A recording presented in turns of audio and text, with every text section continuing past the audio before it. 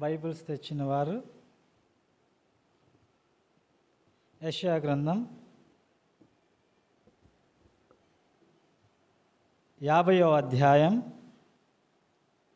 ఆరో వచనాన్ని చదువుకుందాం. యెషయా గ్రంథం యాభయో అధ్యాయం ఆరో వచనం. కొట్టువారికి నా వీపును అప్పగించి తిని వెంట్రుకలు పెరికి వేయు వారికి నా చెంపలను అప్పగించి తిని ఉమ్ము వేయి వారికిని అవమానపరుచు వారికిని నా ముఖమును దాచుకొనలేదు. కండ్లు మూసుకుందాం ప్రార్థన చేసుకుందాం.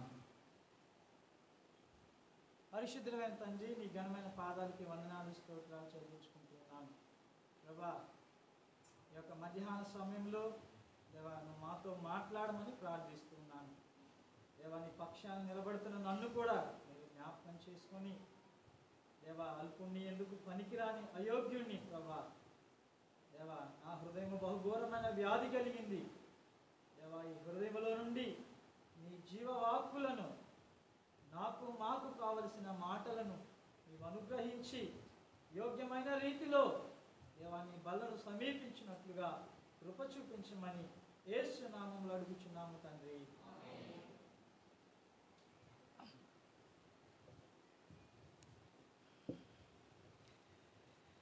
ఈరోజు మరి ప్రభు అయిన యేసుక్రీస్తు నామంలో మీ అందరికీ నా శుభాభివందనాలు తెలియజేసుకుంటున్నాను. వర్షం స్టార్ట్ అయింది. అలాగే మన జీవితంలో కూడా ఎలాగైతే ఒక వర్షం భూమిని తడుపుతుందో అలాగే మన హృదయం యొక్క మన హృదయంలో నుండి వచ్చేటువంటి ఇప్పటి వరకు చాలా చక్కటి ఆరాధన వర్తమానాన్ని సేవకులు అందించారు. కాబట్టి మన కన్నీటితో ఏసయ పాదాలని తడిపే వారిగా మనం ఉండాలని ప్రభు ఆశపడుతూ ఉన్నాడు. ఈరోజు మనం ప్రభు బలని సమీపించకపోయే ముందు ఈరోజు దేవుడు మనతో మాట్లాడని ఉన్నటువంటి మాటలు ఏంటంటే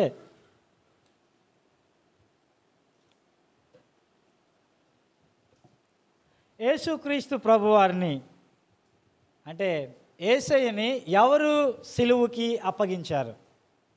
ఏసయ్యని ఎవరు సిలువ వేసి చంపేశారు? మనం చూసినట్లయితే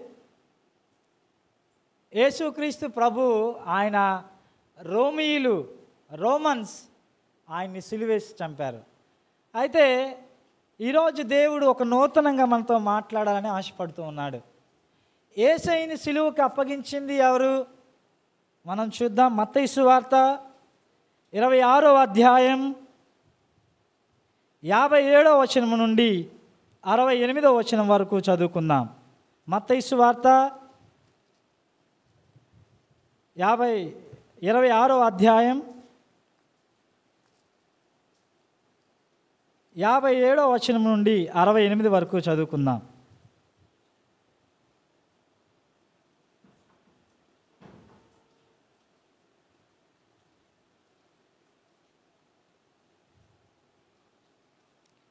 అక్కడ చూసినట్లయితే యేసుని పట్టుకొనిన వారు ప్రధాన యాజకుడైన కైప యొద్దకు ఆయన తీసుకొని పోగా అక్కడ శాస్త్రులను పెద్దలను కూడి ఉండిరి. పేతురు ప్రధాన యాజకుని ఇంటి ముంగిట వరకు ఆయనను దూరం నుండి వెంబడించి లోపలికి పోయి అక్కడ తొమ్మిది యాభై తొమ్మిదవ వచనంలో చూసినట్లయితే ప్రధాన యాజకులను మహాసభ వారందరూ యేసును చంపవాలని ఆయనకు విరోధముగా అబద్ధ సాక్ష్యము వెతుకుచుండ్రి ఇంకా అరవై ఐదో వచనాన్ని మనం చూసినట్లయితే ప్రధాన యాజకుడు తన వస్త్రమును చింపుకొని వీడు దేవదూషణ చేశాను మనకిక సాక్షులతో పని ఏమి? ఇదిగో ఈ దూషణ మీరు ఇప్పుడు విన్నారు మీకేమి తోచుచున్నదని అడిగాను. అందుకు వారు వీడు మరణమునకు పాత్రుడనిరి. అప్పుడు వారు ఆయన ముఖము మీద ఉమ్మివేసి ఆయనను గుద్దిరి కొందరు ఆయనను అరచేతులతో కొట్టి క్రీస్తు నేను కొట్టిన వాడెవడో ప్రవచింపుమని అనిరి. అంటే యేసుక్రీస్తు ప్రభుని సిలువ వేసినటువంటి వ్యక్తులు ఎవరంటే ప్రధాన యాజకులు ఎవరంటే పాస్టర్ గారు. పాస్టర్ గారిలో సీనియర్ పాస్టర్ గారు. ప్రధాన యాజకుడు ఎవరంటే సీనియర్ పాస్టర్ గారు. ఆ సీనియర్ పాస్టర్ గారు అక్కడున్నటువంటి ఆ కయప అనేటువంటి వ్యక్తి దగ్గరికి తీసుకుని వచ్చిన తర్వాత ఆ పిలాతు ముందు యేసుక్రీస్తు ప్రభుని పెట్టిన తర్వాత అక్కడ ఉన్నటువంటి ప్రధాన యాజకుడు యేసుక్రీస్తు ప్రభు వారిని అడుగుతున్నటువంటి మాటలు. యేసు బోధకుడా నీవు క్రీస్తువా? నువ్వు దేవుని కుమారుడివా? అయితే ఆయన చెప్పాడు నీవన్నట్టే అని చెప్తూ ఉన్నప్పుడు ఎవరైనా నేను దేవుణ్ణి నేను దేవుని కుమారుడని చెప్పుకున్నట్లయితే వాడు దేవదూషణ చేస్తున్నట్లు అంటే తన్ను తనను తానే దేవునితో సమానుడిగా ఎంచుకుంటున్నట్లు. కాబట్టి అక్కడ ఉన్నటువంటి సీనియర్ పాస్టర్ గారు ఏం చేశారంటే ఆయన షర్టు చించుకున్నారు. అంటే ఏంటి? ఇతడు మనుష్యుడై ఉండి మానవుడిగా పుట్టి నేను దేవుణ్ణి అంటున్నాడు ఏంటని తన యొక్క ఆ షర్ట్ చించేసుకొని ఇక మనతో ఏం పని? ఇక సాక్షులతో మనకేం పని? ఇతన్ని మనం చంపుదాము అని చెప్పేసి అక్కడ ఉన్నటువంటి ప్రధాన యాజకుడు చెప్తున్నట్లుగా మనం చూస్తూ ఉంటాం. యేసుక్రీస్తు ప్రభుని సిలువేసిన వారు అలాగే ఇంకా కిందనున్నట్లయితే దేవదూషణ చేశాడని అక్కడ ఉన్నటువంటి సీనియర్ పాస్టర్ గారు చెప్తున్నారు. అంటే దేవదూషణ అనే దానికి వారికి అర్థం అవ్వాలంటే అక్కడ ఉన్నటువంటి ఆ యొక్క ప్రధాన యాజకుడితో పాటు అక్కడ ఉన్నటువంటి వ్యక్తులు కూడా ఎవరు అన్నట్లయితే వారు కూడా విశ్వాసులే. వారు కూడా దేవుని మందిరంలోనికి వెళ్ళేవారే. అయితే వాళ్ళు కూడా ఏం చెప్పారు? అక్కడ ఉన్నటువంటి వారు ఇదిగో ఆయన చెప్తున్నాడు ప్రధాన యాజకుడు ఎవరితో చెప్తున్నాడు? ప్రధాన యాజకుడు అరవై ఐదో వచనంలో ప్రధాన యాజకుడు చింపుకొని వీడు దేవదూషణ చేసెను మనకిక సాక్షులతో పని ఏమి? విని ఉన్నారు. ఎవరిని అడిగారు? అక్కడ ఉన్నటువంటి విశ్వాసుల్ని అక్కడ ఉన్నటువంటి చుట్టుపక్కల ఉన్న ప్రజల్ని అడిగారు. అంటే సేవకుడితో పాటు ఎవరుంటారు? ప్రధాన యాజకుడితో పాటు ఎవరుంటారు? ఎవరైతే మోషే ధర్మశాస్త్రాన్ని అనుసరిస్తూ దేవుణ్ణి వెంబడిస్తూ ఉంటారో వారే ఉన్నారు. ఆ యొక్క పాస్టర్ గారితో పాటు వారేం చెప్తున్నారంటే అక్కడ వారు చెప్తున్నటువంటి మాటలు మనం విందాం. వా మీకేమి తోచుచున్నదని అడిగాను. అందుకు వారు వీడు మరణమునకు పాత్రుడనిరి. అప్పుడు వారు ఆయన ముఖం మీద ఉమ్మి వేసి అక్కడ ఉన్నటువంటి వాళ్ళు ఏం చేశారంటే అక్కడ ఉన్న విశ్వాసులు కూడా ఏం చెప్పారంటే వీడు మరణానికి పాత్రుడు. యేసు క్రీస్తు ప్రభువుని అప్పగించిన వారు ఎవరో కాదు. పాస్టర్ గారు ఆ పాస్టర్ గారి సంఘంలో ఉన్నటువంటి విశ్వాసులు. అక్కడ ఉన్నటువంటి ప్రజలు. మోషే ధర్మశాస్త్రాన్ని అభ్యసిస్తున్నటువంటి ప్రధాన యాజకులు. దేవుణ్ణి మంచి మార్గంలో నడిపించాల్సినటువంటి వారు ఆయన యొక్క ఆయనని గ్రహించలేని వారిగా ఉండి ఆయన్ని సిలువుకి అప్పగించారు. ఈరోజు మనం చూసుకోబోయే అంశం ఏంటంటే హూ బిట్రేడ్ జీసస్ క్రైస్ట్ ఆయనని ఎవరు అప్పగించారు? ఈరోజు ఏసైని సిలువకు అప్పగించింది ఎవరో తెలుసా? నాలాంటి ఇక్కడ ఉన్నటువంటి చాలామంది సేవకులు లాంటి వారు. ఇక్కడ ఉన్నటువంటి మనలాంటి విశ్వాసులు యేసు క్రీస్తు ప్రభుని ఆ యొక్క రోమన్ గవర్నర్ అయినటువంటి ఆ పొంతి పిలాతు వరకు ఆయన తీసుకుని వెళ్ళారు. ఈరోజు మనం ప్రభు బలని సమీపించక మునుపు దేవుడు మనతో మాట్లాడనై ఉన్నటువంటి మాటలు ఏంటంటే ఈరోజు నన్ను సిలువ వేసింది ఏసైని సిలువ వేసింది ఆ రోమిల్ ఆ రోమన్స్ అని అనుకుంటారు కానీ కాదు. ఆయన వేసింది వాళ్ళే కానీ కారణం ఎవరు? ఏసైని సిలువుకి అప్పగించడానికి అప్పగించిన వారు ఎవరు హూ బిట్రైడ్ జీసస్ క్రైస్ట్ వాళ్ళు ఎవరో కాదు కానీ అక్కడ ప్రధాన యాజకుడు అక్కడ ఉన్నటువంటి విశ్వాసులు వారి చుట్టుపక్కల ఉన్నటువంటి అధికారులు ఆయన సిలువ వేయండి. ఇతడు వీడు మరణానికి పాత్రుడు అన్నాడు. ఈరోజు ప్రభు వాళ్ళని సమీపించక ముందు నీ నా జీవితాలలో నీవు నేను today you and me before taking communion before going to the table before taking the bread of uh, the bread and the wine of Jesus Christ, the blood of Jesus Christ, we should test ourselves. మనల్ని మనం పరీక్షించుకోవాలి దేవా అక్కడ ఉన్నటువంటి ప్రధాన యాజకుడు వాడి చుట్టుపక్కల ఉన్నటువంటి ప్రజలందరూ కూడా వీరిని సిలువ వేయమని ఆయనను కేకలు వేసిన వారిగా మనం చూస్తూ ఉంటాం అయితే ఇక్కడ ఉన్నటువంటి యొక్క సమయం కూడా మనకు తక్కువగా ఉంది కానీ అయితే ఇక్కడ ఉన్నటువంటి ఈ యొక్క మాటలన్నింటినీ కూడా మనం గమనించినప్పుడు ఇక్కడ ఒక వ్యక్తి మనకు కనిపిస్తూ ఉంటాడు.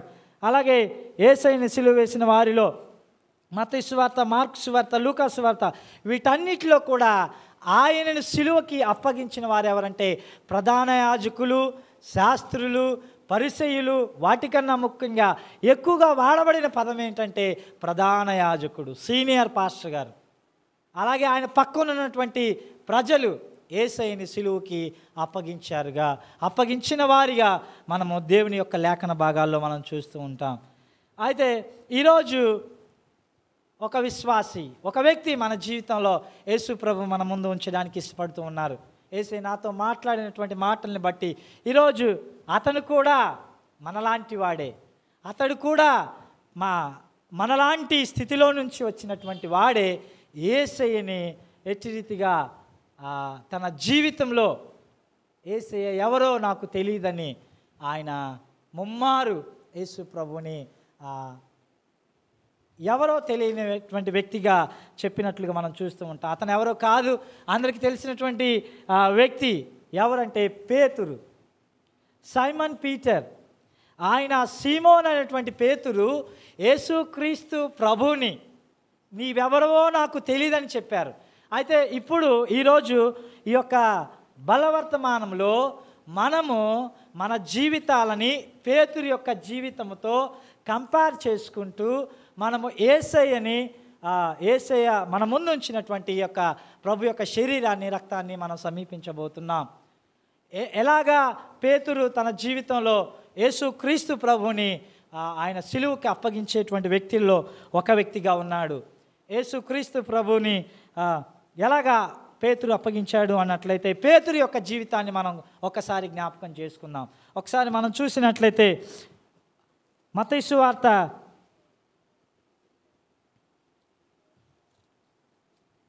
నాలుగో అధ్యాయం.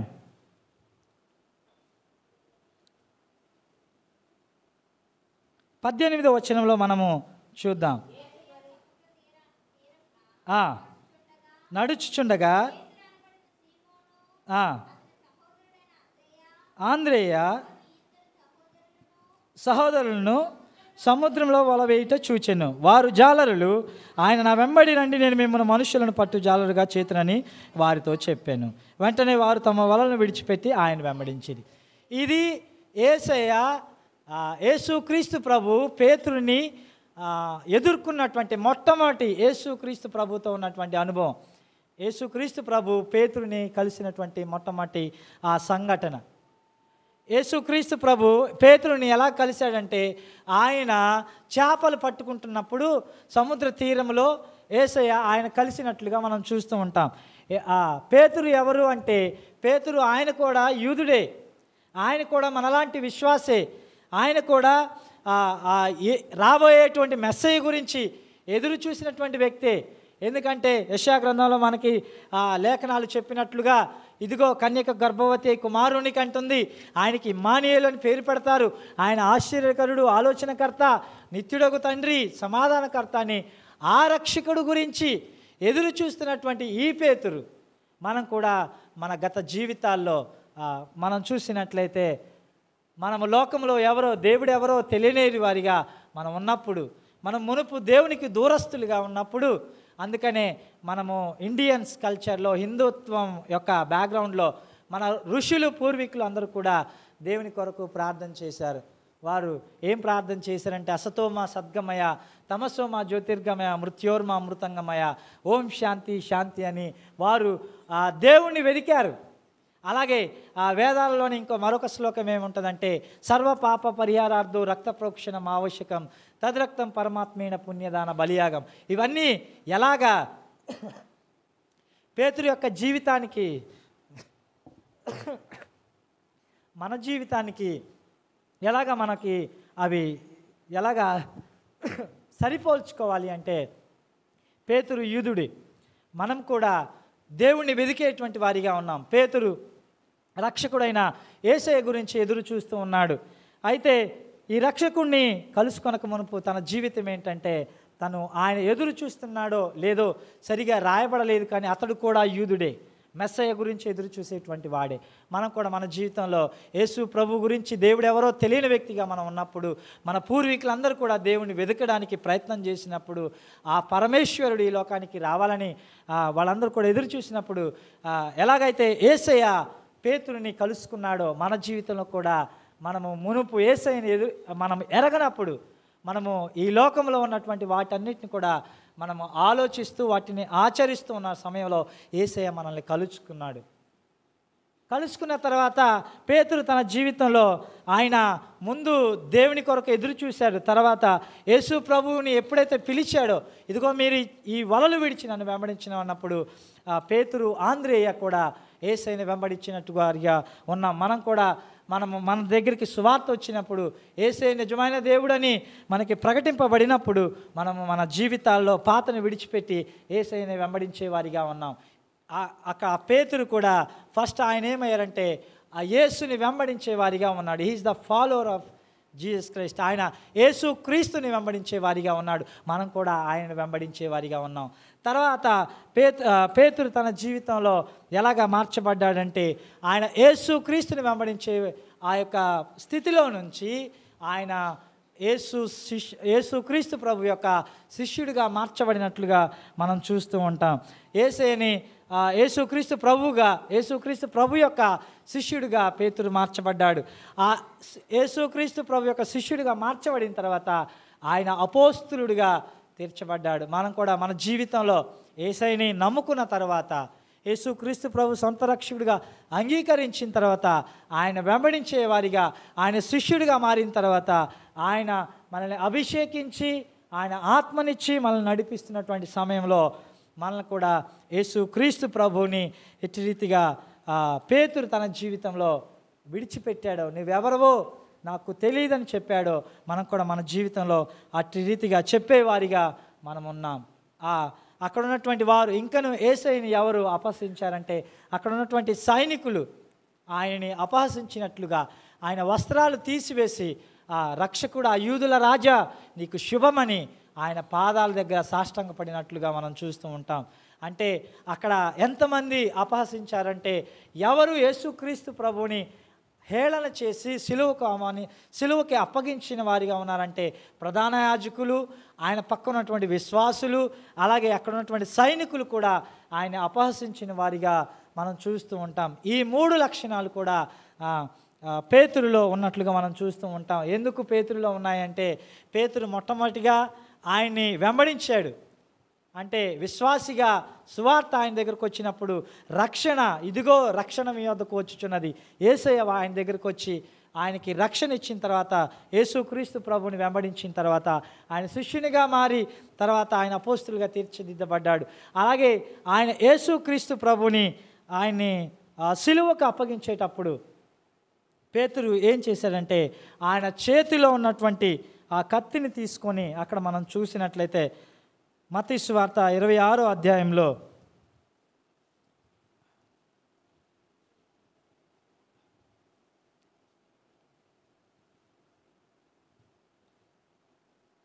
యాభై వచ్చిన నుంచి మనం చదువుకుందాం.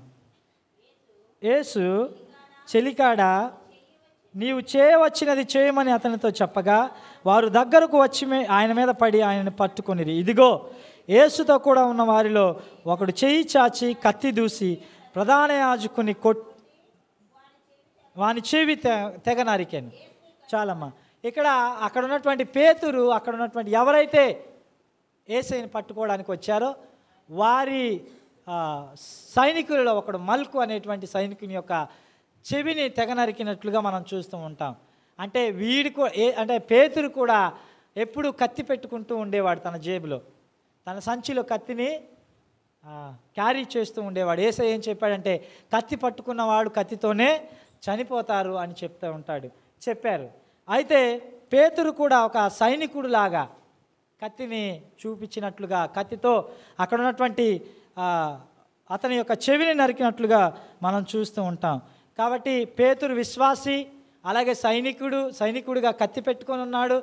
అలాగే ఆయన అపోస్తులుగా ఉన్నాడు. అంటే ప్రధాన యాజకత్వంలోనికి ఆయన పాస్టర్ గారిలాగా దేవుని వెంబడించే వారిగా ఉన్నాడు. ఈ ముగ్గురు ఏసైని అవమానించి అపాసించారు పేతురు అవమానించి అపాసించపోయినప్పటికీ కూడా నీవెవరవో నాకు తెలియదని చెప్పడం ద్వారా కూడా పేతురు ఏసైని సిలువకి అప్పగించినటువంటి వాడిగా ఉన్నాడు.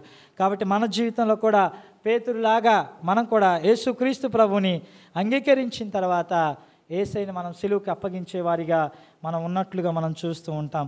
కాబట్టి పేతురులాగా ఈరోజు నీ నా జీవితాలు ఉన్నాయేమో ఒకసారి పరీక్షించుకుంటూ పరీక్ష చేసుకుంటూ మనము ప్రభు యొక్క బలలోకి పాలు పంపులు పొందాలని దేవుడు ఆశపడుతూ ఉన్నాడు. అయితే ఈ పేతురు తన గత జీవితం ఏంటో మనం చూసాం ఏసై నమ్ముకున్నాడు శిష్యుడిగా మారాడు అపోస్తులుగా తీర్చబడినప్పటికి కూడా యేసు క్రీస్తు ప్రభువుని ఎలాగా తాను తృణీకరించాడో మనం చూస్తూ మనం చూద్దాం. ఇరవై ఆరవ అధ్యాయంలో యాభై ఏడు నుంచి మనం చూసినట్లయితే యాభై ఏడు నుంచి అరవై ఎనిమిదవ వచనం వరకు ఇలాగ వ్రాయబడి ఉంది. యేసును పట్టుకొనిన ఆ, పట్టుకొనిన వారు ప్రధాన యాజకుడైన కైపా యొద్దకు ఆయన తీసుకుని పోగా అక్కడ శాస్త్రులను పెద్దలను కూడి ఉండిరి.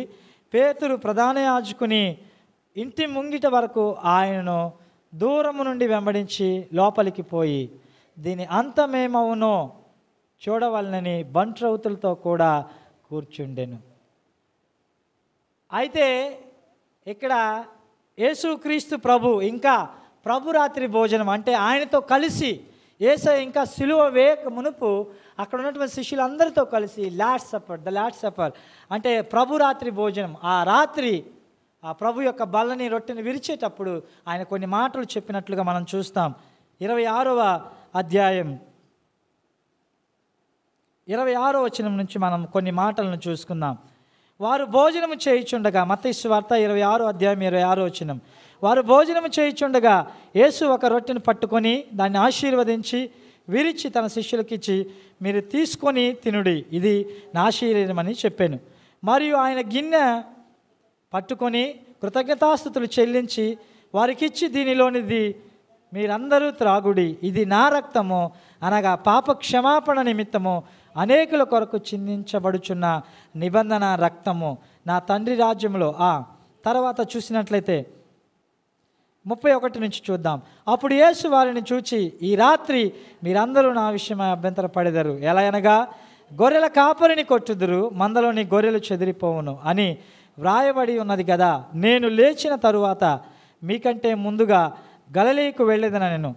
అందుకు పేతురు నీ విషయమైన ముప్పై ఏడో వచ్చిన ముప్పై మూడు నుంచి మనం జాగ్రత్తగా గమనించాలి. అందుకు పేతురు నీ విషయమై అందరూ అభ్యంతర పడినను నేను ఎప్పుడునో అభ్యంతర పడనని ఆయనతో చెప్పగా యేసు అతన్ని చూచి ఈ రాత్రి కోడి కూయక మునిపే నీవు నన్ను ఎరుగనని ముమ్మారు చెప్పేదవని నీతో నిశ్చయముగా చెప్పుచున్నాను నేను పేతురు ఆయనను చూచి నేను నీతో కూడా చావవలసి వచ్చినను నిన్ను ఎరుగనని చెప్పన నేను అదే ప్రకారము శిష్యులందరూ అనేది ఇక్కడ మనం గమనించినట్లయితే పేతురు ఒక్కడే అనలేదు. మనం చాలాసార్లు ఆ దేవుని వాక్యాన్ని చదివిన తర్వాత ఏసయ్యా నువ్వెవరో నాకు తెలియదని నీ ఇదిగో ఇక్కడ ఉన్న వాళ్ళందరూ కూడా నువ్వెవరో నాకు తెలియదని ఒట్టు పెట్టుకున్నా ఏసయ్య ఎవరో నాకు తెలియదని నేను చెప్పను ప్రభువా అని పేతురు చెప్తున్నాడు. పేతురు చెప్పిన తర్వాత కిందన మనం చూసినట్లయితే అదే ప్రకారంగా శిష్యులందరూ అనివి. పేతురు ఒక్కడే కాదు అక్కడున్న వాళ్ళందరూ కూడా పన్నెండు మంది శిష్యులు. యేసు తాను ప్రేమించిన శిష్యుడైన యోహాను కూడా అన్నాడు. ఏమన్నాడు? ఇదిగో ఎటువంటి కష్టం వచ్చినా ఆయన పైన ఆల్రెడీ చెప్పాడు. ఇదిగో గొర్రెల కాపరిని కొట్టుదురు గొర్రెలన్నీ కూడా చెదిరిపోతాయి. ఇదిగో నా సమయం ఆసన్నం అవుతుంది నేను వెళ్ళిపోవలసిన గడియ వచ్చి ఉన్నది అని చెప్తున్నటువంటి సమయంలో పేతురు మాట్లాడారు. ప్రతి విషయంలో కూడా పేతురు అన్నింటికి ముందున్న వాడిగా మనం చూస్తూ ఉంటాం. మన జీవితంలో కూడా మనం అనేక విషయాల్లో ఎవరు పాటలు పాడతారంటే ఒకవేళ ఈయన జీవితాలు ఇప్పుడు ఈ వాక్యము చెప్పబోతున్నటువంటి వాక్యము ఎవరికి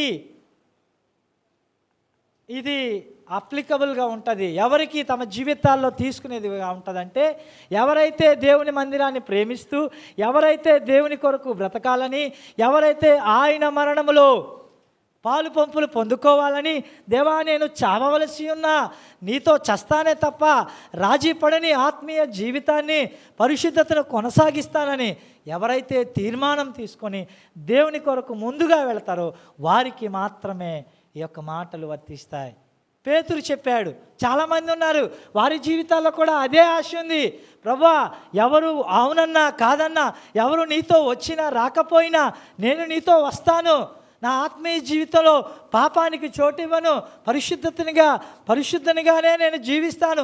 నీ సిలువ వేసుకొని నీ సిలువ మోయించి నేను వెంబడిస్తానని ఆ పేతురు వలె వారికి ఉన్నప్పటికీ కూడా పేతురు ఇన్స్టాంట్ తీసుకొని ఆయన చెప్పినటువంటి మాటలు ఏం చెప్పాడంటే నీతో చావవలసి ఉన్నను నేను అలాగా చెప్పనని చెప్పాడు. ఈరోజు ఇక్కడ ఉన్న కూర్చున్న వారిలో ఎవరైనా కానీ ఏసై కొరకు నువ్వు బ్రతకాలనుకుంటే ఏసై కొరకు పరిశుద్ధంగా బ్రతకాలనుకుంటే ఏసైని దినదినము ఆయన సిలువ మోయిచు ఆయనను వెంబడించే వారిగా ఉండాలి అని అనుకుంటున్నట్లయితే ఏసయ్య నీతో నాతో మాట్లాడుతూ ఉన్నారు. పేతురు చెప్పాడు ఏసయ్యా నేను నీతో కూడా చావలసి వచ్చినను నిన్ను ఎరుగనని నేను చెప్పను. అని అన్నాడు. అని అన్న తర్వాత మనం అంటున్నటువంటి మాటలు నేను ఎప్పుడు చెప్తూ ఉంటాను. నా జీవితంలో. అంటే ఎప్పుడైతే మనం కన్ఫెస్ చేస్తామో if you are confessing yourself towards God Lord I want to take a decision to lead a holy life in front of you నీ ప్రభు నా జీవితంలో ఎటువంటి పరిస్థితులు వచ్చినప్పటికి కూడా నీ కొరకు నేను పరిశుద్ధంగా బ్రతకాలనుకుంటున్నానయ్యా. ప్లీజ్ హెల్ప్ మీ లార్డ్ నాకు సహాయం చేయవా? నాకు కృప చూపవా? Please mercy on me Lord అని నువ్వు అనుకుంటున్నట్లయితే దేవుడు ఆ మాటలు ఎవరు వింటారు? దేవుడు వింటాడు. అలాగే సైతాన్ కూడా వింటాడు. ఏసయ్య చెప్పాడు పేతురు నీవు నన్నెవరో ఎరుగునని ముమ్మారు పలకం అంతవరకు కూడా ఈరోజు తెల్లవారు. పల్లెటూరులో బాగా మనకు అనుభవం ఉంటుంది. కోడి కూయగానే అందరు లెగుస్తూ ఉంటారు. కోడి కూయక ముందే మన జీవితంలో కూడా ఏసఐ ఈరోజు హెచ్చరిస్తూ ఉన్నారు. త్వర త్వరగా పేతురు తన జీవితంలో ఏసఐ కొరకు ఒక తీర్మానం తీసుకున్నారు. ప్రభువా నేను చావవలసిన వచ్చినా కూడా నీ కొరకు నేను బ్రతుకుతానయా నిన్ను I will not deny even though even though I want to die with you I will not deny you నేను నిన్ను ఆ, తృణీకరించను నేను నీవెవరవో తెలియదని చెప్పను అని ఒక తీర్మానం తీసుకున్న వెంటనే తన జీవితంలో ఎదురైనటువంటి సంభవం ఏంటంటే అక్కడ మనం చూసినట్లయితే ఆ, చెప్పాడు పేతురు ఇంకా అబద్ధం ఆడకముందే చెప్పాడు. పేతురు ఆ ఆ మాటని చెప్పాడు. ఏం చెప్పారంటే ఇదిగో నీవు నన్ను ఎరుగునని మమ్మారు చెప్తావయ్యా అని పేతురు చెప్పినప్పుడు ఆయన ఏసయ్య పేతురుతో చెప్పిన తర్వాత తన జీవితంలో చోటు చేసుకున్నటువంటి సంభవాలు ఏసైని పట్టుకోవడానికి వచ్చారు. పట్టుకోవడానికి వచ్చిన తర్వాత అక్కడ ఆయన చేతిలో కత్తి ఉంది. అక్కడ అక్కడ ఉన్న వాళ్ళందరూ ఇంకా మనం చూసినట్లయితే పేతురు ఎలాంటి వాడో దేవుణ్ణి ఎంతగా ప్రేమించాడో మనకు అర్థం కావాలంటే యాభై ఆరో వచ్చినాన్ని ఒక్కసారి మనం చదువుదాం.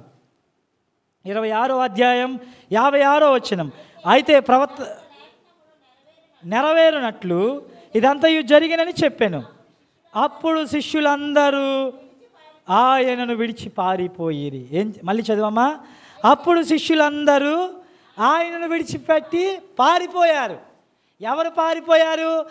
ఆయనకి ఇష్టమైన యోహాను పారిపోయాడు. అక్కడ ఉన్నటువంటి తోమ మత్తయి భర్తలోమ ఆంధ్రేయ అందరూ పారిపోయారు. కానీ నువ్వెవరో నాకు నీ నీ చావులో కూడా నేను నీవెవరో నాకు తెలియదని చెప్పినటువంటి వ్యక్తి మాత్రం ఉన్నాడు. ప్లీజ్ రిమెంబర్ దిస్ ఈ మాటని మన హృదయంలో ఉంచుకోవాలి. నిజంగా నువ్వు ప్రేమిస్తున్నట్లయితే ఏసైనా నువ్వు నిజంగా ప్రేమించేవాడివైతే అందరూ చెదిరిపోయినా నువ్వు మాత్రమే నిలబడతావు. దేవుని కొరకు నిలిచి ఉంటావు. ఆ ఆ యొక్క అక్కడ ఆ మాటలు విన్నప్పుడు నేను చాలా దేవుడు నాతో మాట్లాడినటువంటి మాటలు. పేతురు అబద్ధమాడాడు. కాదంటలేదు. వీళ్ళందరూ ఆడలేదా? అందరూ ఆ ప్రకారమే అనిరి. వాళ్ళు అనలేదా? వారు అబద్ధమాడారు పేతురు అబద్ధమాడారు. కానీ వారందరూ కూడా ఆయన విడిచిపెట్టి పారిపోయారు. నీ జీవితంలో నా జీవితంలో ప్రతికూలమైనటువంటి పరిస్థితులు వచ్చినప్పుడు దేవుని కొరకు నిలబడాలని నువ్వు తీర్మానం తీసుకున్నప్పుడు ప్రతికూలమైన పరిస్థితులు వచ్చినప్పుడు అందరూ నేను విడిచిపెట్టి వెళ్ళిపోతారు. నా అన్న వారందరూ కూడా నేను విడిచిపెట్టి చాలా దూరంగా వెళ్తారు. ఎప్పుడు తెలుసా? నువ్వు ప్రభు కొరకు బ్రతకాలనే తీర్మానం తీసుకున్నప్పుడు ఎలాగ చెప్పాలా? పేతురు కాదు మనకి ఎవరు? మాదిరి. విశ్వాసమునకు కర్తయు దాన్ని కొనసాగించేవాడైన ఏసయ్య ఆయన చెప్తూ ఉన్నాడు. యోహాన్ సువార్త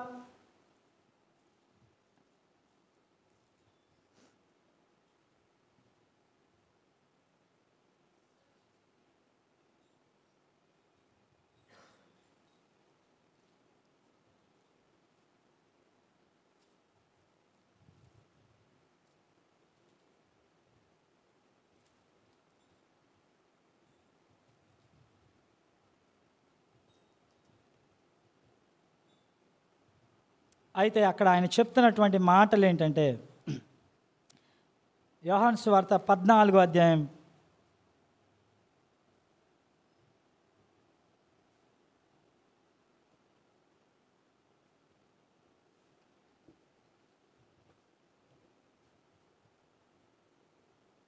అక్కడ ఏం ఏసై ఏం చెప్తూ ఉంటారంటే ఇదిగో కాపరిని మీరందరూ కూడా నన్ను విడిచిపెడతారు. మీరందరూ నన్ను విడిచిపెట్టినప్పటికి కూడా నేను ఒంటరిని కాను. అయితే చూద్దాం పదహారో అధ్యాయం ముప్పై రెండో వచనాన్ని మనం చూద్దాం. ఇదిగో మీలో ప్రతి వాడును ఎవరి ఇంటికి వాడు చెదిరిపోయి నన్ను ఒంటరిగా విడిచిపెట్టు గడియ వచ్చుచున్నది వచ్చే ఉన్నది అయితే తండ్రి నాతో ఉన్నాడు గనుక నేను ఒంటరిని కాను. యేసుక్రీస్తు ప్రభుని కూడా తన ప్రాణము పెట్టినటువంటి శిష్యులు అంతగా ప్రేమించినటువంటి శిష్యులు కూడా ఆయనను ఒంటరిగా విడిచిపెట్టి వెళ్ళిపోయారు. పేతురిని కూడా ఇప్పుడు ఒంటరిగా విడిచిపెట్టి శిష్యులందరూ కూడా పారిపోయారు. కాబట్టి నీ నా జీవితాల్లో ఒంటరిగా మనము ఉన్ ఒంటరితనాన్ని మనం అనుభవిస్తాం. ఎప్పుడో తెలుసా? నువ్వు నేను దేవుని కొరకు బ్రతకాలని తీర్మానం తీసుకున్నప్పుడు. నేను నేను నువ్వు కూడా దేవుని కొరకు పరిశుద్ధంగా బ్రతకాలనే తీర్మానం తీసుకున్నప్పుడు మనము ఒంటరిగా మిగిలిపోతాం. అయితే ఈరోజు ఆ పేతురు తన జీవితంలో యేసు క్రీస్తు ప్రభు ఎవరో తానెవరో తనకి తెలియదనప్పటికీ బొంకినప్పటికీ కూడా తన జీవితంలో కొన్ని సంఘటనలని చోటు చేసుకున్నాయి. తన జీవితాన్ని సరి చేసుకోవడానికి మరలా ప్రభు కొరకు రోషంగా బ్రతకడానికి దారి తీసినటువంటి కారణాలని కొన్నిటిని చూద్దాం. మత వార్త ఇరవై ఆరో అధ్యాయం.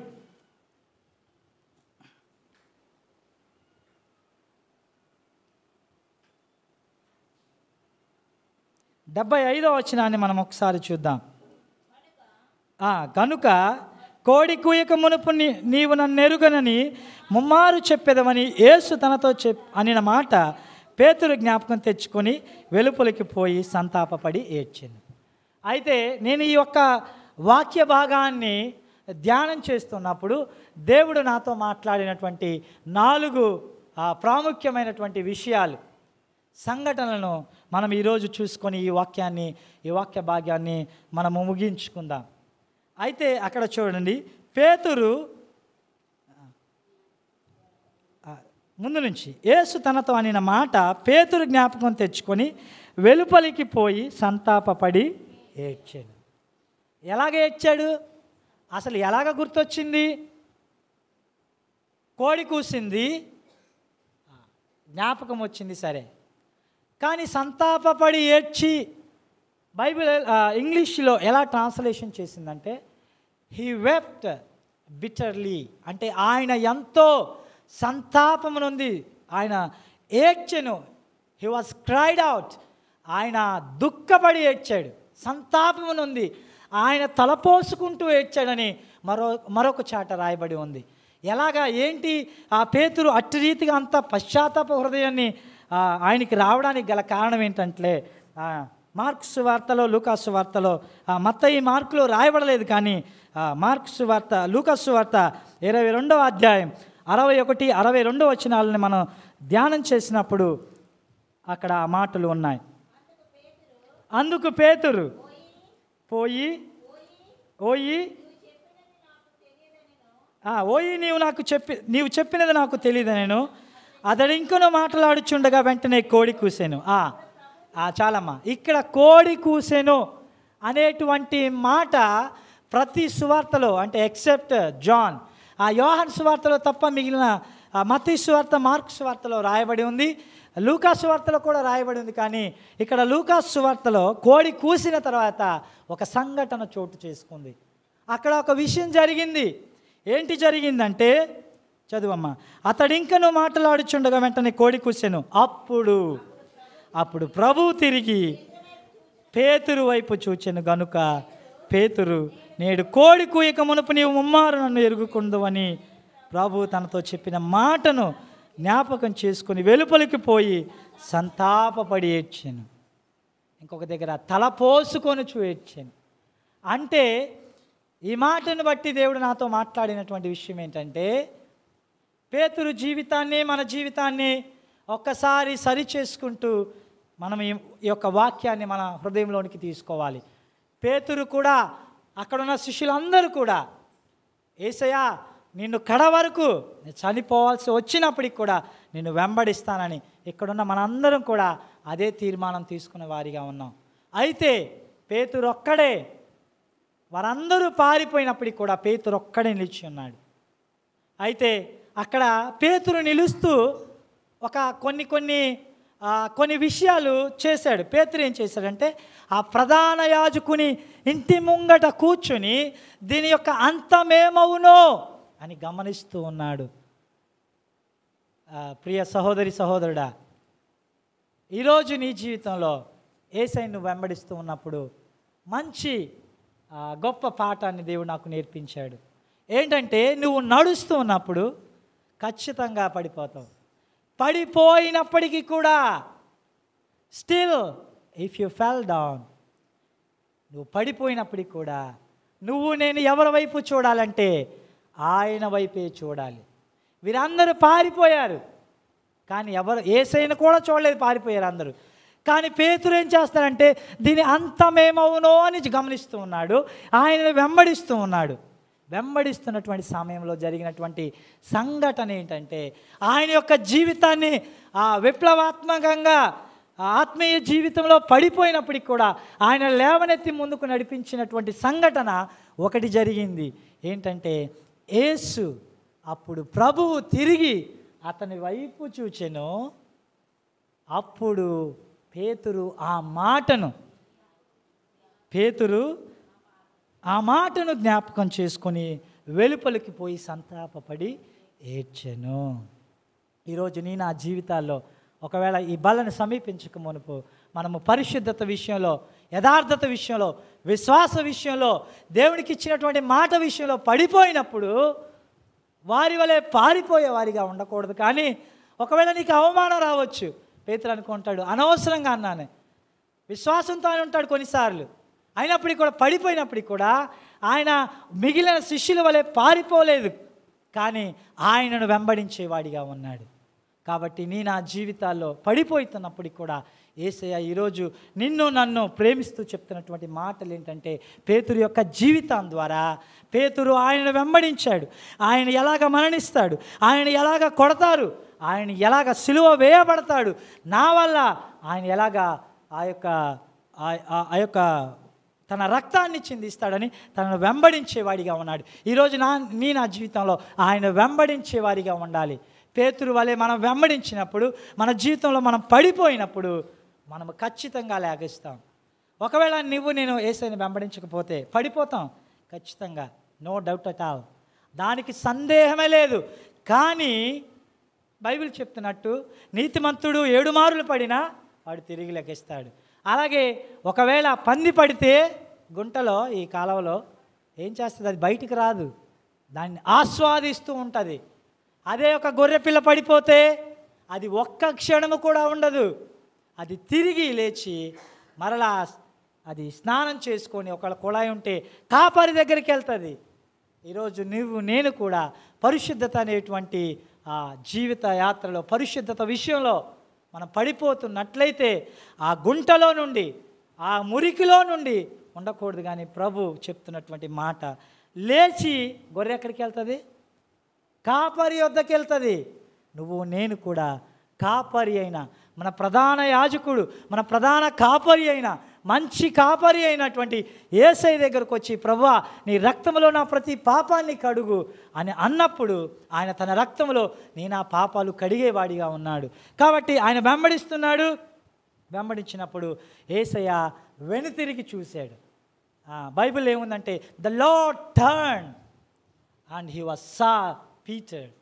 ఆయన తిరిగి ఇక్కడ జరుగు పేతురు వెంబడిస్తున్నాడు. ఏసైకి ఎలా తెలుసు? అందుకనే పేతురు పడిపోయిన తర్వాత చివరిగా ఏసై వెళ్ళిపోయే ముందు పేతురు నువ్వు నన్ను ప్రేమిస్తున్నావా? అంటే బోధకుడా ప్రేమిస్తున్నాను. నీవే సమస్తం ఎరిగినవాడు. తర్వాత మరలా ప్రేమిస్తున్నావు అంటే ప్రేమిస్తున్నావు. తర్వాత అలాగా ప్రేమిస్తున్నావు అంటే మూడు సార్లు ప్రేమిస్తున్నావు. సమస్తము నువ్వు ఎరుగువాడవు ప్రవ్వా. ఆ మూడోసారి పేతురు వ్యసనపడి అంటే బాధపడి ఎందుకు నన్ను అడుగుతున్నాడని? ఈరోజు దేవుడు నిన్ను అడుగు అడుగుతున్నటువంటి మాట. నువ్వు నన్ను ప్రేమిస్తున్నావా? నీవు నన్ను ప్రేమిస్తున్నావా? అని ఏసయ్య నేను నన్ను అడుగుతున్నాడు.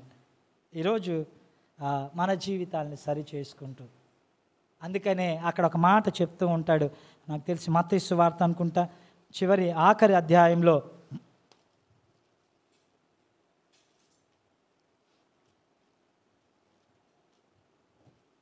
పేతుర్ని ఏసై అడిగినటువంటి ఆ సందర్భం.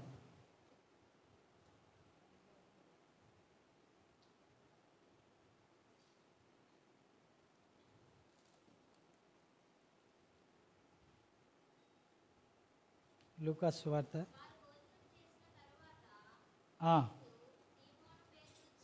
చూచి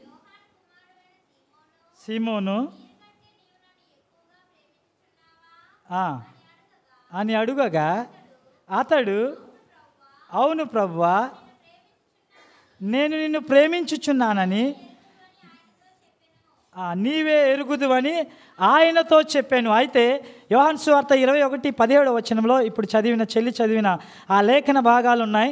అయితే పదిహేడవ వచనం చివరి భాగంలో మనం చూసినట్లయితే పేతురు వ్యసనపడి ప్రభువా నీవు సమస్తమును ఎరిగిన వాడవు నిన్ను ప్రేమించుచున్నానని నీవే ఎరుగుదువు. అంటే పేతురు ఆయనను వెంబడించుచున్నాడని యేసు ప్రభుకి తెలుసు. అందుకనే అయ్యో నన్ను వెంబడిస్తున్నాడే. అయ్యో అబద్ధం ఆడినప్పటికీ కూడా still he was denied but he he is following me నీ జీవితంలో నా జీవితంలో పాపం విషయంలో పరిశుద్ధత విషయంలో పడిపోయినప్పటికి కూడా నువ్వు ఏ సైని వెంబడిస్తే ఏ సైని తట్టు తిరుగుతాడు. ఖచ్చితంగా he will turn he will turn towards you ఆయన నీ వైపు తిరిగి ఆయన చూపు ద్వారా పేతురుని మార్చుకున్నటువంటి దేవుడు. ఒక్క చూపు చూశాడంతే. పేతురు ఆ ఆ దీనంగా అందుకనే ఆ సేవకులు చెప్పినటువంటి మాటలు మనము జాలిగల హృదయమును దయగల హృదయమును మనము కలిగి దీర్ఘశాంతమును కలిగి ఉండాలి. ఏసయ ఆయన దయాళుడు. ఆయన కోపించుచునే వాత్సల్యాన్ని చూపించే ఆ గొప్ప దేవుడు చూసినటువంటి ఆ చూపుకి ఒక్కసారిగా పేతురు యొక్క హృదయం బ్రద్దలైపోయింది ఎప్పుడు? పడిపోయినా ఆయనను వెంబడించినప్పుడు. ఈరోజు నీ నా జీవితంలో ప్రభు యొక్క బలకి సమీపించక మునుపు నీ నా జీవితంలో పడిపోతే పడిపోతున్నప్పటికీ కూడా ఆయన వైపు చూస్తున్న ముందుకు వెళ్తున్నట్లయితే ఆయన నీ వైపు తిరిగేవాడిగా ఉన్నాడు. ఆయన తిరిగినప్పుడు నీ హృదయాన్ని ఆయన మార్చేవాడిగా ఉన్నాడు. అయితే ప్రాముఖ్యమైనటువంటి విషయంలోకి ఇంకా నేను వెళ్ళలేదు కానీ సమయం ఒంటి గంట అయింది. అయితే నాలుగు విషయాలు. ఆయన చూసినప్పుడు పేతురు జీవితంలో జరిగినటువంటి నాలుగు సందర్భాలు. ఏమి జ్ఞాపకం చేసుకున్నాడు పేతురు? ఆయన చూసినప్పుడు పొట్టి జక్కయ్య చూసినప్పుడు మేడి చెట్టు ఎక్కి ఆ యేసు ఎవడో చూడగోరేను. ఆయన పొట్టివాడై ఉన్నందున. పైకెక్కి చెట్టు మీద నుంచి చూశాడు. అయితే ఏసయ్య వెళ్ళాడు. చెప్పలేదు. జక్కయ్యకి నీ ధనం ఇచ్చేయి నువ్వు ఇంత వడ్డీ తీసుకున్నావు అంత వడ్డీ తీసుకున్నావు నువ్వు అన్యాయస్తుడివి. నువ్వు ఇచ్చేయని చెప్పలా. కానీ ఎప్పుడైతే ఏసైని ఇన్వైట్ చేసుకున్నాడు హృదయంలోనికి ఇచ్చేశాడు. అలాగే పేతురు వైపు చూశాడు. ఏసై ఏం మాట్లాడాలా?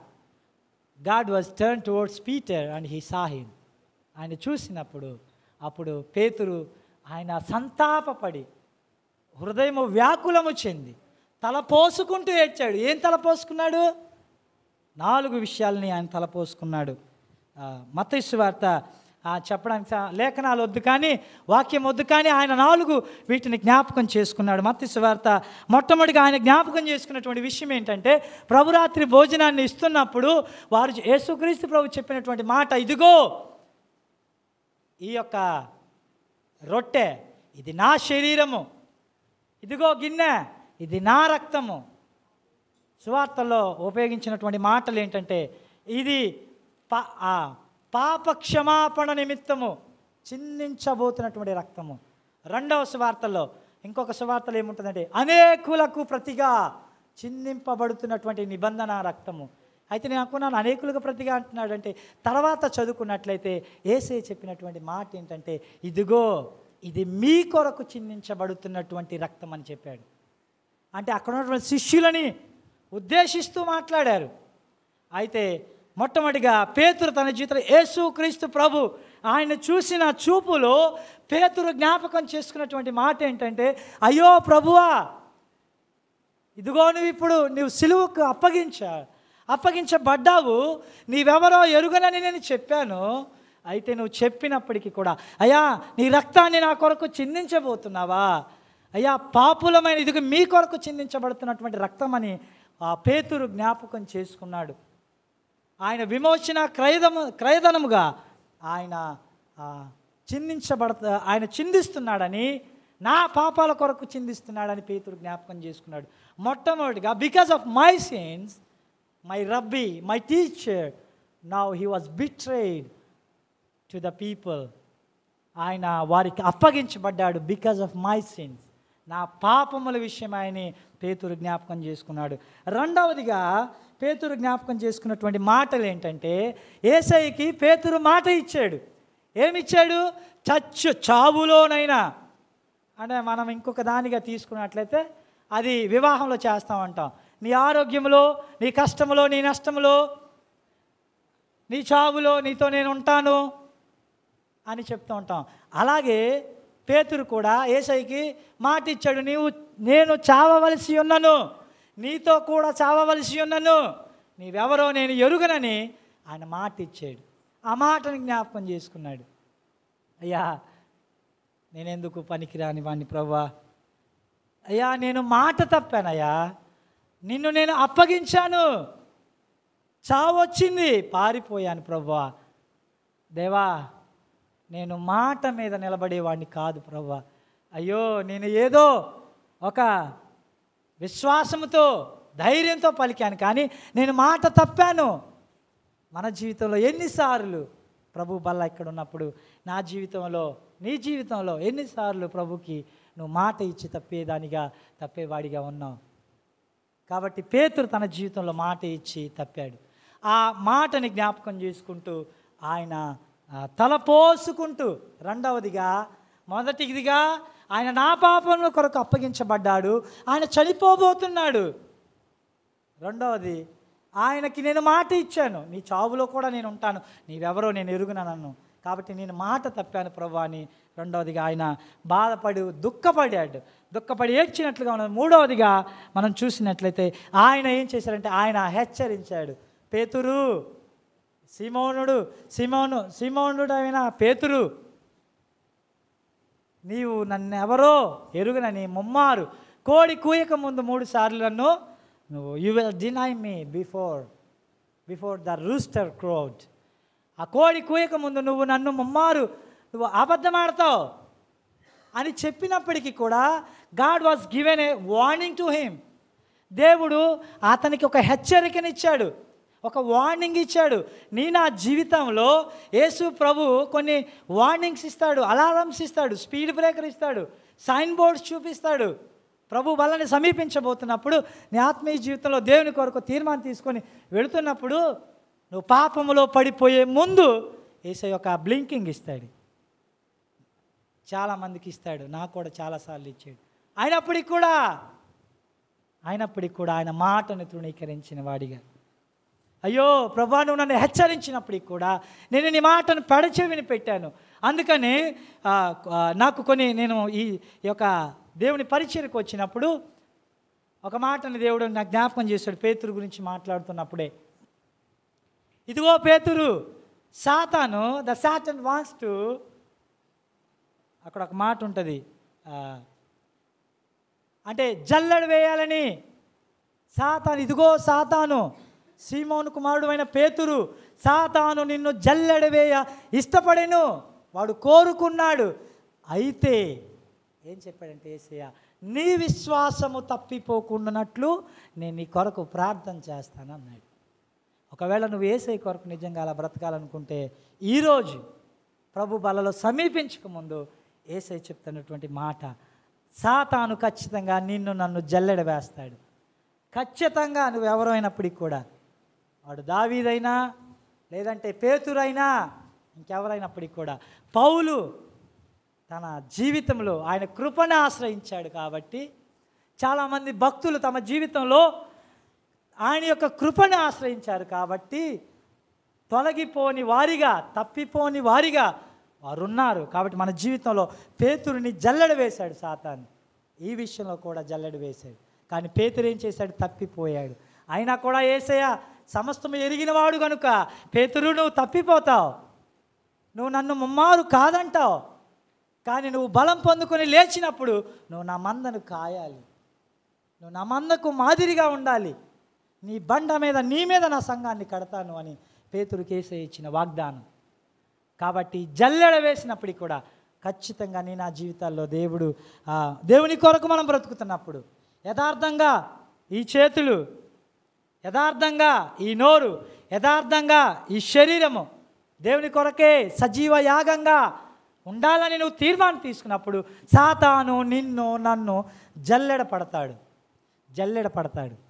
ఎంత భక్తి ఉంది ఎంత పరిశుద్ధత ఉంది ఎంత విశ్వాసం ఉంది ఎంత యథార్థమైన భక్తి ఉంది మనం ఆరాధనలో చూసుకున్నప్పుడు ఆయన నీతియు యథార్థమైన భక్తియు కలిగి దేవుని పోలిక కలిగిన వారమై నవీన స్వభావాన్ని కలిగి జీవించాలని మనం చూసాం ఆ నవీన స్వభావాన్ని కలిగి జీవిస్తాడా? చూద్దాం.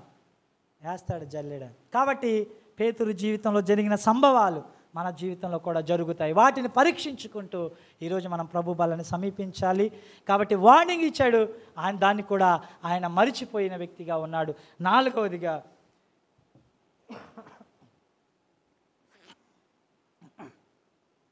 నాలుగవదిగా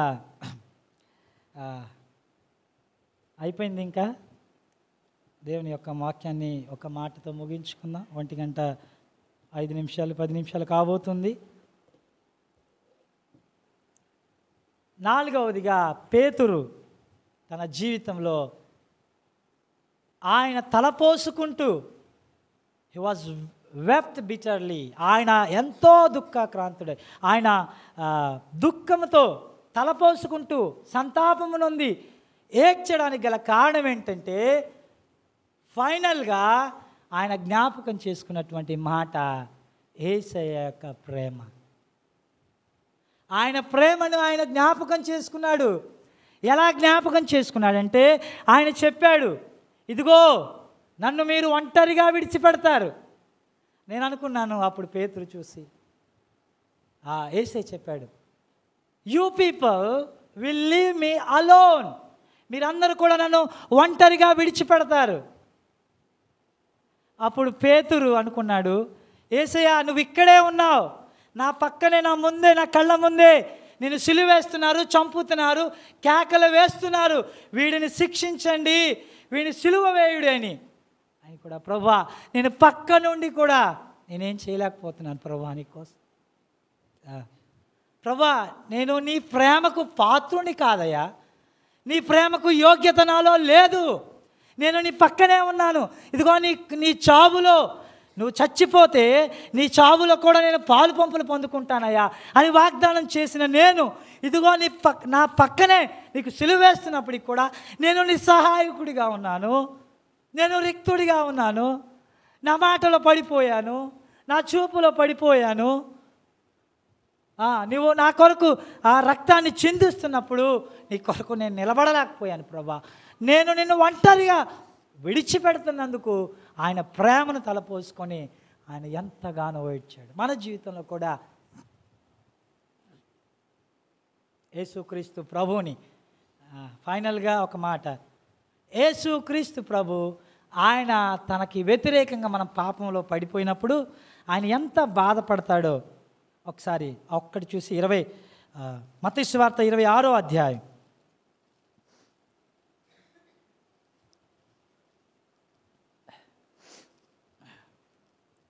ఇరవై ఆరో అధ్యాయం. ఇరవై ముప్పై ఏడో వచ్చినాను పేతురును జబదయి ఇద్దరి కుమారులను వెంటబెట్టుకొని పోయి దుఃఖపడుటకును చింతాక్రాంతుడగుటకును మొదలుపెట్టాను. అప్పుడు యేసు మరణమగునంతగా నా ప్రాణము నాలో నా ప్రాణము బహు దుఃఖముతో దుఃఖములో మునిగి ఉన్నది. చాలమ్మా చాలా. అంటే నేను దేవుని యొక్క వాక్యాన్ని ధ్యానిస్తున్నటువంటి సమయంలో దేవుడు నాతో మాట్లాడినటువంటి మాట అంటే నువ్వు పాపము చేసే ప్రతిసారి నువ్వు నా జీవితంలో నా విషయంలో పడిపోయే ప్రతిసారి నేను ఎంతగా బాధపడతానంటే నా ప్రాణము బహు దుఃఖములో మునుగునంతగా మరణమగునంతగా ఆయన దుఃఖపడతాడట. నువ్వు చేసే ప్రతి పాపానికి నేను చేసే ప్రతి పాపానికి ఏసే ఎంత బాధపడతాడంటే మరణమగునంతగా ఆయన బాధపడేవాడిగా ఉన్నాడు. కాబట్టి ఈరోజు నీ నా జీవితంలో పేతురు ద్వారా దేవుడు మాతో మాట్లాడినటువంటి మాటలు ఆయన కూడా మనవలే అన్యుడిగా ఉన్నాడు విశ్వాసిగా శిష్యుడిగా మారాడు అపోస్తులుగా తీర్చబడ్డప్పటికి కూడా దేవుని వెంబడించాడు. చాలామంది చెదిరిపోయారు. దేవుణ్ణి వెంబడిస్తూనే ఉన్నాడు. నువ్వు కూడా నేను కూడా నా జీవితంలో మన జీవితంలో పడిపోయినప్పటికి కూడా మనం ఆయన వెంబడించే వారిగా ఉన్నప్పుడు ఆయన ఖచ్చితంగా మన వైపు తిరుగుతాడు. అది సాదృశ్యం ఏంటంటే నీ నా జీవితంలో దేవుని వైపు చూడాలని. ఒకవేళ విశ్వాస జీవితంలో పరిశుద్ధత విషయంలో మనం పడిపోయినప్పుడు దేవుని వైపు చూడాలి పేతురు వలె. అలాగే దేవుడు ఆయన చూసినప్పుడు ఆయన గుర్తుపెట్టుకున్న నాలుగు విషయాలు. నా కొరకు ఏసై చనిపోతున్నాడు. రెండవదిగా ఆయనకి ఇచ్చినటువంటి మాట నేను నిలబెట్టుకోలేకపోయాను.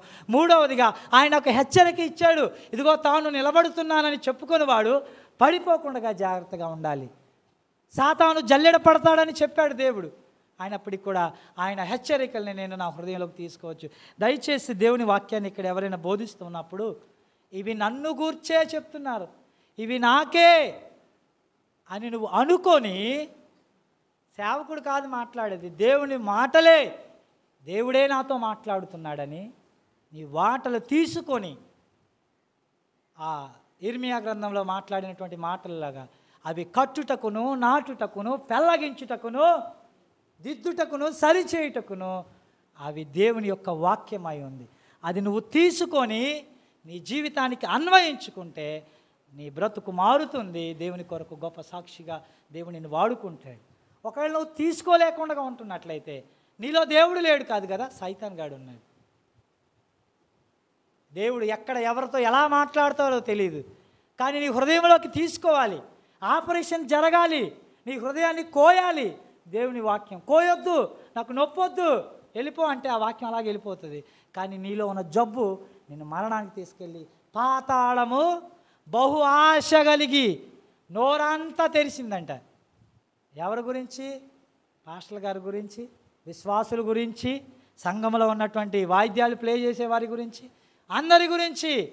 కాబట్టి ఈ దేవుని వాక్యం పేతురు ద్వారా దేవుడు మనతో మాట్లాడుతున్నప్పుడు మన హృదయాలను సరి చేసుకొని ఆ పేతురు వలె చివరిగా ఆయన తీసుకుంది ప్రభా నా పక్కనే ఉన్నావు నా కళ్ళ ముందే నిన్ను సెలివేస్తున్నారు ప్రభా. Sorry Lord please forgive me I'm unable to do nothing నేను ఏమీ చేయలేని వాడిగా నిస్సహాయ స్థితిలో ఉన్నాను ప్రవ్వా నువ్వు సిలువేస్తున్నప్పటికి కూడా. Sorry Lord please forgive me నన్ను క్షమించి ప్రభు అని పేతురు ఆ మాటల్ని తలపోసుకుంటూ తన జీవితంలో ఏడ్చాడు. తలపోసుకుంటూ ఏడ్చి సంతాపపడ్డాడు.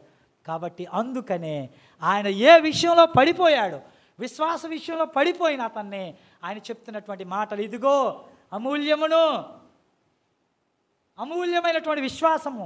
ఇదిగో ఆ సువర్ణము అగ్ని పరీక్ష వల్ల గుండా వెళ్ళినప్పుడు ఆ సువర్ణానికి హెచ్చరితిగా మంచి విలువ కలిగిందిగా ఉంటుందో మీ విశ్వాసము ఈ శోధనల గుండా ఈ అగ్ని పరిస్థితి పరీక్షల గుండా వెళుతున్నప్పుడు అది అంతకంతకు నిలబడి వాడబారని ఆ కిరీటం వలన పొందుకునేదిగా చేస్తుంది. అంటే ఎలాంటి వాడు అందుకని పేతురు చనిపోతున్నప్పుడు అయ్యో నేను నీలాగా చనిపోవడానికి నాకు అర్హత లేదు ప్రభా అని పేతురు తన జీవితంలో తల్ల క్రిందులుగా సిలువ వేయబడ్డాడు. ఏసైన ఇలాగేస్తే పేతురు బుర్ర కిందకి ఆయన హెడ్ ఆయన కాళ్ళు పైకి ఉన్నాయి.